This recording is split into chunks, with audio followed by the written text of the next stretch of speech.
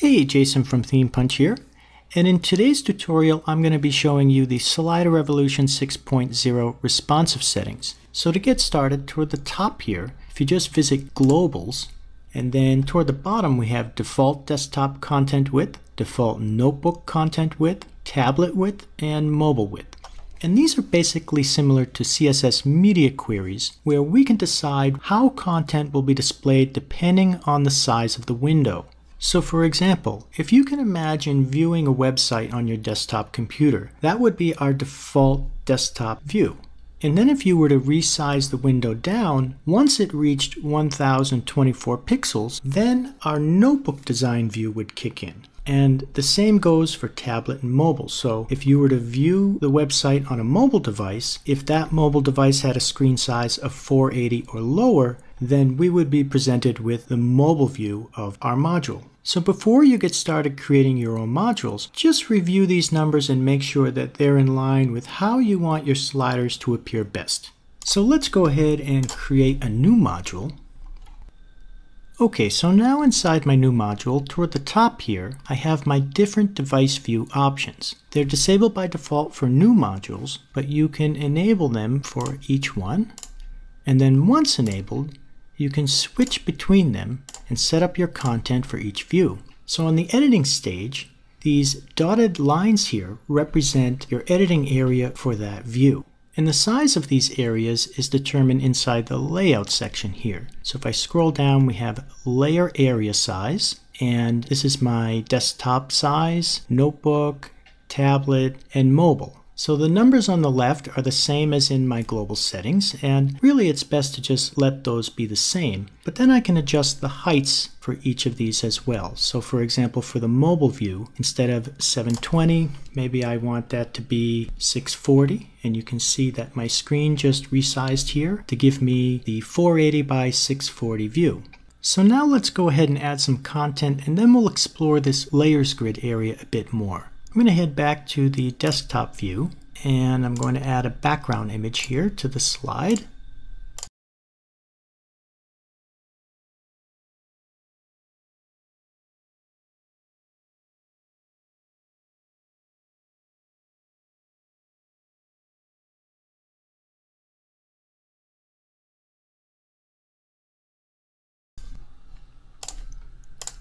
And now I'm going to add a shape layer and we can position that to the top left of our layers grid area with a size preset of cover.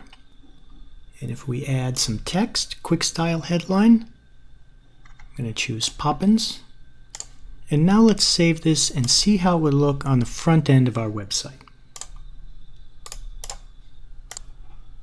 And now because this is a full width slider, it spans across the entire width of the web page, but you can see our content is confined into our layers grid area.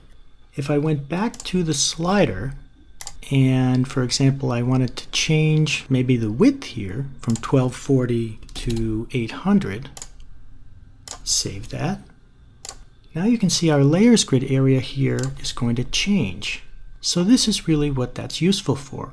So next I'm going to go back and undo those changes and I'm going to align the layers to the entire slide as opposed to the layers grid area. So for example, right here it's toward the middle, but maybe I want this layer and this shape to be aligned to the very left of the screen. So I can do that by just selecting the layer and under size and position I change layer align to scene. So I can do that for the text as well. Scene, save it. And here we go. Now our layers are aligned to the left side. So this makes it really convenient to set up your content depending on maybe you want it aligned to the entire slide, maybe you want some other content aligned to your layers grid area. It's really up to you.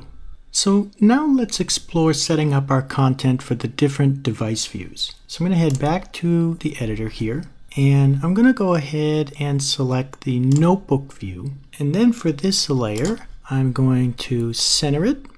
I'm going to change its color. How about we make it yellow? And then I'm also going to bump up the text size and the line height. And this little pop-up here just gives you a mental picture of what the other values are for the other different device views. So now let's save that, head back to our slider and reload the page. And now I'm going to right click, choose inspect, and using Chrome inside this toggle device toolbar option here, I can resize the window and our notebook was set up to change at 1024 pixels. So as we hit that mark, we should see our content change. There you go. So now it's perfectly set up how we want it to look whenever the screen size is 1024 pixels or smaller. And then we can do the same for the other device views. So I can head back here, I can choose tablet, and then for this maybe I want to align that layer to the bottom. So I'll go ahead and do that. And as an offset, maybe we give it 20 pixels and then for the mobile view, maybe I don't want this layer to appear at all on the mobile view because as I get down to this screen size, maybe there's only so much content that can fit. So what I can do for here is I can head into the responsive settings and then under visibility, I can uncheck the mobile device there. And now if we save this and then head back to our web page, reload it.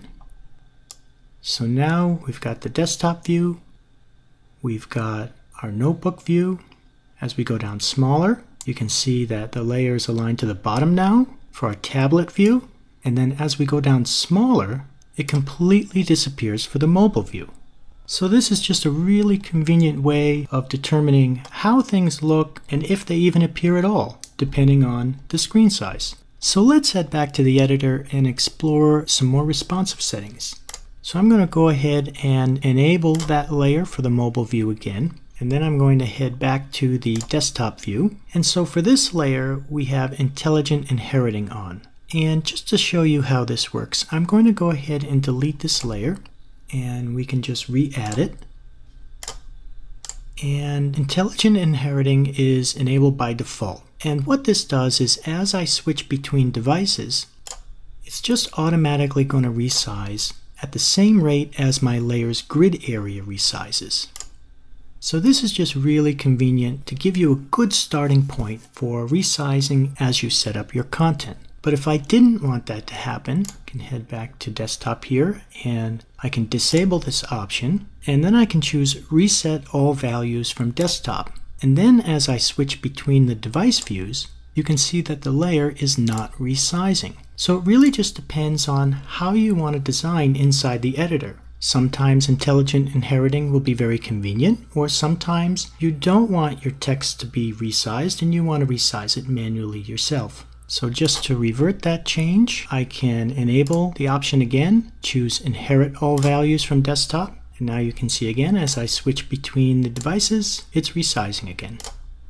So for the other responsive behavior settings here, if I never wanted the layer to resize between devices, I could disable this option.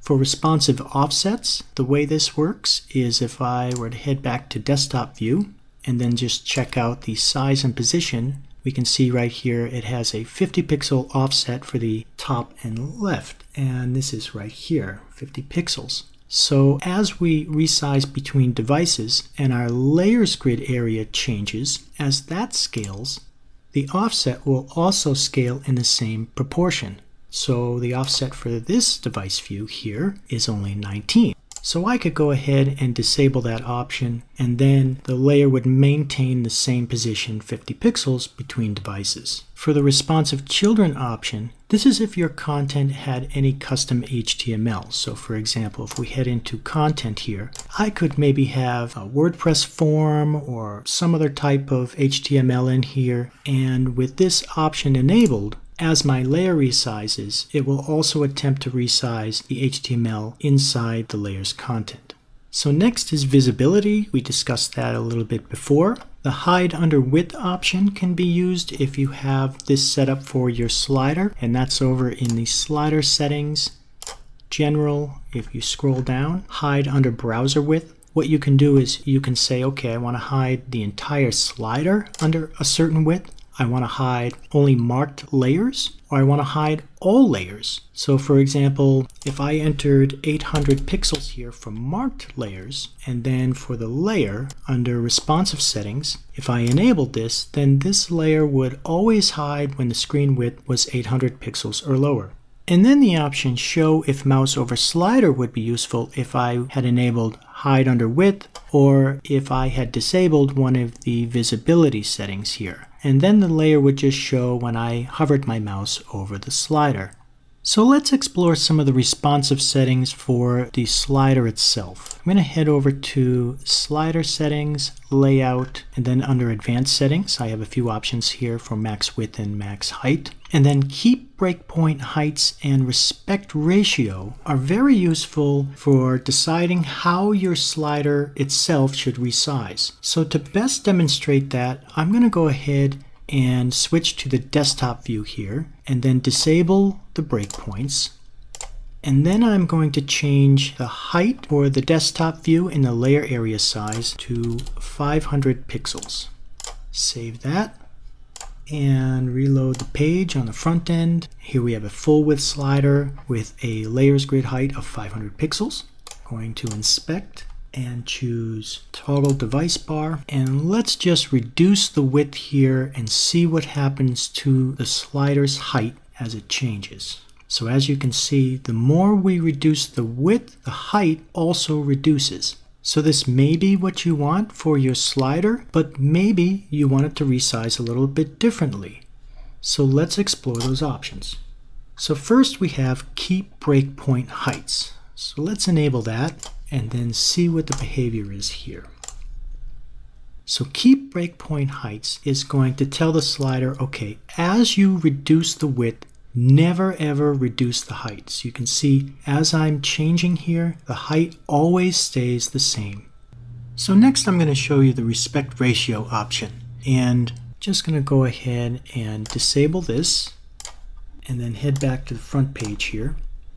So as you can see, our slider has expanded full width, but the height remains at a maximum height of 500 pixels. And this is the default for the slider. So right here, we have our 500 pixels set here. So our slider's height is never going to grow beyond that number, unless we enable the respect ratio option right here. So if I do that, and then save the slider and reload it on the front end, you can see that the slider's height has now expanded at the same proportion that the width has expanded according to these numbers right here. And then a good demonstration of this is if I change the width and height to a one by one ratio. So let's save that, head back to the front end. And now the slider's width and height are both identical. So you can see my slider actually expands beyond the fold here if I scroll down. Okay, so the last thing I want to show you is the visibility options for the navigation. So if we head up here and click the navigation tab, if we were to enable arrows, bullets, tabs, they all have these same options. So if you scroll down to visibility, what we can do is we can say maybe we want to show them only at a certain screen width or maybe we want to hide them at a certain screen width. And what's really useful about this is it allows you to have different navigations for different screen sizes. So for example, maybe I want thumbnails for my desktop view, but maybe I want to hide those on the mobile view because they just don't fit. So for the mobile view, maybe I'll only show arrows. So as an example for the thumbnails here, what I could do is I could say hide under 640 pixels. And then for the arrows, I could say hide over 640 pixels. And this essentially allows me to have two different navigation setups depending on the screen size. So that covers the responsive settings for Slider Revolution 6.0, and thanks for watching.